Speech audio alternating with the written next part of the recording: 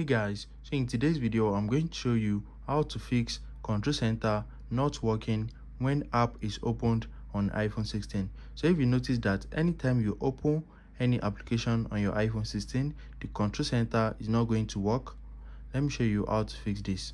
So the first thing is head over to your settings and you need to scroll down and click on control center. After that turn on access within apps. Once you turn it on if you open any app you still be able to access your control center. So very easy and straightforward. If you found this video helpful smash the like button and subscribe